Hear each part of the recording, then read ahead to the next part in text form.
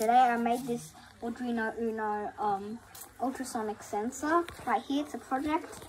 So um yeah, this is how look. It's pretty cool. I got this. The only reason they're dim is because I changed the resistors to a high resistance, and so the lights will, will be more dim and like less bright. Because if they're more bright, then it hurt our eyes. So yeah.